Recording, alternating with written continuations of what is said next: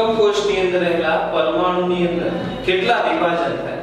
માનો કે આપણે લાસ્ટ ટાઈમ એ વાત કરી હતી કે એક ખૂણો હોય, તો આ એક ખૂણો છે એ આઠમાં વિભાજન પામે, અથવા તો બાજુની મધ્યમાં રહેલો પરમાણુ બેમાં વિભાજન પામે, તો એ કઈ રીતે શક્ય થઈ શકે? તો એના માટે એક નાનીથી એકમ કોષ એક પરમાણુની રચના જોઈશું. આ પરમાણુની અંદર ધારો કે આ ખૂણો છે. હવે આ જે ખૂણો છે, આ ખૂણાની અંદર જોવામાં આ એક નાના અમથા એકમ કોષની અંદર આપણે જોઈએ તો આ એક એકમ કોષ છે. આના સિવાય, આના આ જ સમતલમાં કે આગળના સમતલની અંદર વાત કરીશું તો આ એક અને એક બીજો. અને એની એક્ઝેક્ટ પાછળ બે પરમાણુઓ રહેલા છે. અને આના આ એક સ્તરની અંદર રહેલા ચાર પરમાણુઓ જે એ જે અહીંયા છે અને એક્ઝેક્ટ પાછળ જે બીજો છે, ત્રણ અને એક્ઝેક્ટ પાછળ એક ચાર છે.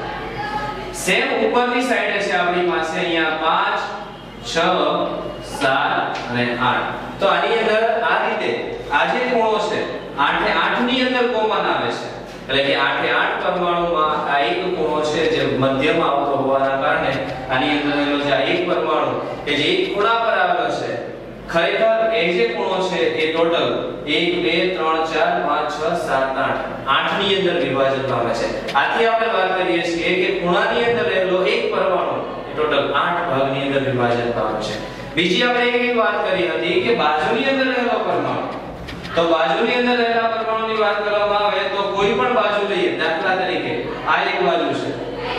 3 અને 4 ની વચ્ચે અથવા તો 3 અને 7 ની વચ્ચે કોમન બાજુ લઈએ કે જે સાઈડ છે અને ઉપરની સાઈડ છે.